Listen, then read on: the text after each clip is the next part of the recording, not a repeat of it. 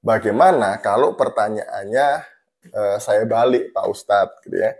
Saya balik Pak Maskud. Pertanyaan saya, apakah ada di dalam Al-Qur'an yang memerintahkan untuk merayakan Maulid Nabi Shalom saudaraku, salam damai sejahtera dalam kasih Kristus. Jumpa lagi dengan saya. Di Juli kita akan belajar berapologetika bersama-sama di channel ini. Ada seorang ustadz mualaf yang sedang mempertanyakan mengenai perayaan hari Natal. Menurut dia, di dalam Alkitab tidak ada perintah untuk merayakan hari Natal. Tapi kenapa orang Kristen merayakan hari Natal? Sebelumnya mari kita bersama-sama menyimak video berikut ini.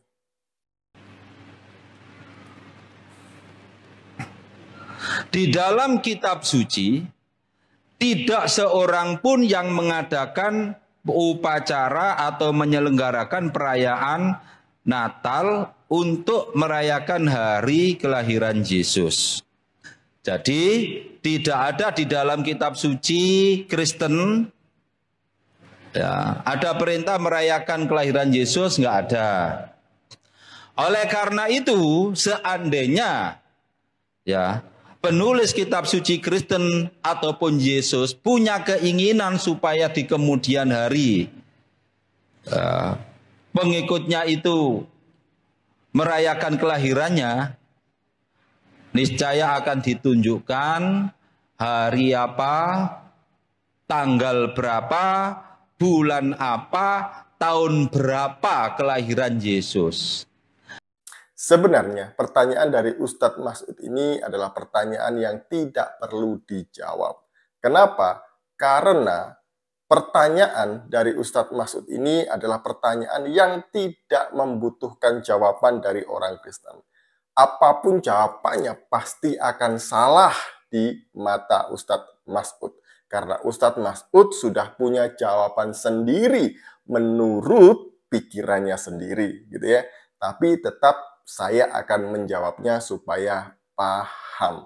Nah, benarkah di dalam Alkitab itu tidak ada perintah untuk merayakan Natal? Benar, itu jawabannya 100 benar. Nah, memang di dalam Alkitab itu tidak ada perintah untuk orang Kristen merayakan Natal. Lalu mengapa orang Kristen merayakan Natal? Karena Natal itu adalah berita sukacita lahirnya Sang Juru Selamat. Jadi karena Natal adalah hari sukacita karena Sang Juru Selamat yaitu Kristus Yesus telah menjadi manusia, maka orang Kristen merayakannya dengan perayaan Natal. Jadi itu ya, Natal ini adalah hari sukacita. Gitu. Ya nggak ada salahnya kami merayakan hari yang baik, hari yang penuh kegembiraan ini. Nah, apakah di uh, Alkitab ada yang merayakan Natal? Ya ada, tapi memang kalau perintah tidak ada. Mari kita melihat di dalam Lukas pasal yang kedua ayat 8 sampai ayat yang ke-20. Saya bacakan ya. Di daerah itu ada gembala-gembala yang tinggal di padang menjaga kawanan ternak mereka pada waktu malam. Tiba-tiba berdirilah seorang malaikat Tuhan di dekat mereka dan kemudian Tuhan bersinar meliputi mereka dan mereka sangat ketakutan. Lalu kata malaikat itu kepada mereka, "Jangan takut, sebab sesungguhnya aku memberitakan kepadamu kesukaan besar untuk seluruh bangsa." Hari ini telah lahir bagimu juru selamat, yaitu Kristus Tuhan di kota Daud. Dan inilah tandanya bagimu. Kamu akan menjumpai seorang bayi dibungkus dengan lampin dan terbaring di dalam palungan. Dan tiba-tiba tampaklah bersama-sama dengan malaikat itu sejumlah besar bala tentara surga yang memuji Allah katanya. Kemuliaan bagi Allah di tempat yang maha tinggi dan damai sejahtera di bumi di antara manusia yang berkenan kepadanya. Setelah malaikat-malaikat itu meninggalkan mereka dan kembali ke surga, gembala-gembala itu berkata seorang kepada yang lain, marilah kita pergi ke Bethlehem untuk melihat apa yang terjadi di sana seperti yang diberitahukan Tuhan kepada kita. Lalu mereka cepat-cepat berangkat dan menjumpai Maria dan Yusuf dan bayi itu yang sedang berbaring di dalam palungan. Dan ketika mereka melihatnya, mereka memberitahukan apa yang telah dikatakan kepada mereka tentang anak itu.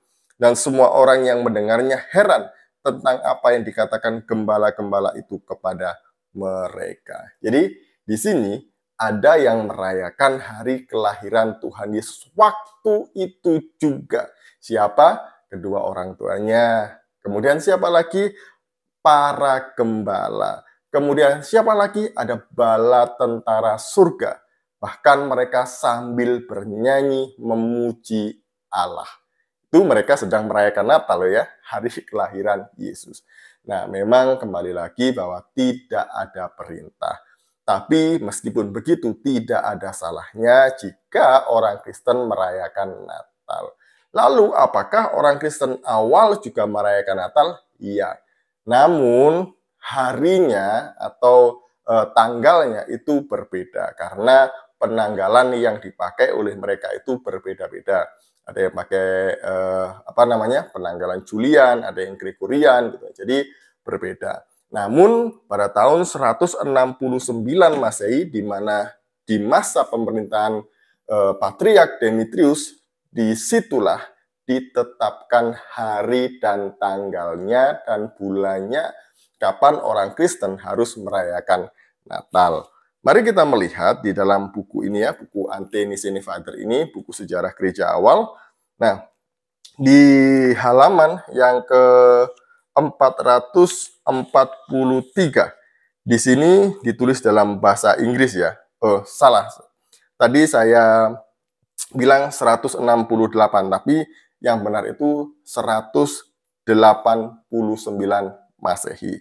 Dituliskan demikian, Wahai saudara-saudara, tetapkanlah dalam hari-hari perayaan yaitu Natal Tuhan kita, tepatnya di tanggal 25 bulan ke-9. Bulan ke-9 orang Ibrani itu adalah bulan Kisle. Jika dikonversi ke dalam penanggalan kita, maka jatuhnya pada tanggal 25 Desember. Tapi di penanggalan Mesir itu jatuhnya di bulan keempat atau bulan ya. Nah, namun orang-orang ortodoks itu merayakan hari Natal di bulan Januari, di awal bulan Januari. Apakah itu salah? Tidak. Sekali lagi bahwa kita ini tidak hanya memakai satu penanggalan, tapi ada perbedaan penanggalan. Jadi tidak masalah. Orang Kristen mau merayakan Natal setiap hari juga nggak masalah kok, nggak ada yang larang gitu ya. Namanya juga hari sukacita, ya boleh-boleh aja, sah-sah aja. Namun kalau mau rame-rame dirayakan bersama seluruh umat seluruh dunia, ya jatuhnya di tanggal 25 Desember. Saya pernah pergi ke Manado, Sulawesi Utara gitu ya. Bahkan eh, belum bulan Desember, bulan November itu aja sudah ada aroma Natal gitu ya, sudah mulai pasang pernak-pernik, eh, pasang apalagi itu ya, lomba-lomba tiap kolom, kemudian ya banyaklah nuansa-nuansa Natal. Sudah mulai putar-putar Eh, lagu-lagu Natal ya. Jadi boleh. Bahkan November pun juga boleh merayakan Natal. Itu tidak masalah ya. Sekali lagi ini adalah hari sukacita. Nah bagaimana kalau pertanyaannya eh, saya balik Pak Ustadz gitu ya. Saya balik Pak Masud pertanyaan saya apakah ada di dalam Al-Quran yang memerintahkan untuk merayakan Maulid Nabi Muhammad.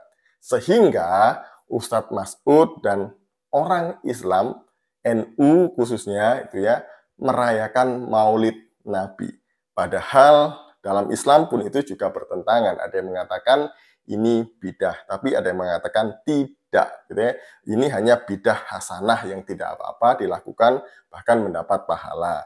Nah, saya uh, buka media gitu ya buka media saya menemukan uh, medianya NU NU online di sini ya NU Jatim online saya bacakan ya Sekedar diketahui bahwa peringatan Maulid Nabi Muhammad SAW adalah acara rutin yang dilaksanakan oleh mayoritas kaum muslimin untuk mengingat menghayati dan memuliakan ke kelahiran Rasulullah.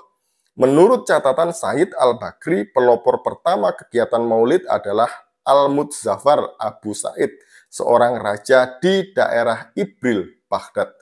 Peringatan maulid Nabi pada saat itu dilakukan oleh masyarakat dari berbagai kalangan dengan berkumpul di suatu tempat. Mereka bersama-sama membaca sejumlah ayat Al-Quran, membaca sejarah ringkas kehidupan dan perjuangan Rasulullah, melantungkan solawat dan syair-syair kepada Rasulullah, serta diisi pula ceramah agama. Kemudian selanjutnya, peringatan maulid Nabi seperti gambaran di atas tidak pernah terjadi pada masa Rasulullah maupun sahabat. Nah, ini bukan saya yang ngomong ya, tapi ini adalah jatimnu.org.id. Jadi itu ya. Karena alasan inilah sebagian kaum muslimin tidak mau merayakan maulid Nabi, bahkan mengklaim bid'ah pelaku perayaan maulid.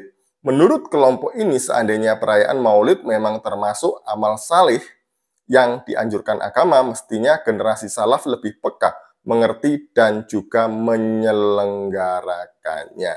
Itu ya. Jadi itu ya.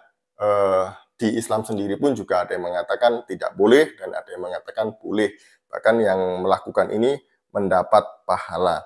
Nah, pertanyaan saya Pak Masud tadi ya, tolong tunjukkan kalau Pak Masud mencari-cari ayat e, perintah untuk melakukan atau merayakan Natal dalam Alkitab, nah saya juga boleh bertanya dong, tolong tunjukkan di mana ayatnya di Al-Quran ada perintah untuk merayakan maulid Nabi supaya jelas gitu ya. Bukan hanya Ustadz Masud aja yang tanya tapi saya juga boleh tanya dong. Sekian dari saya semoga ini memberkati kita dan mencerdaskan kita. Shalom salam waras Tuhan Yesus memberkati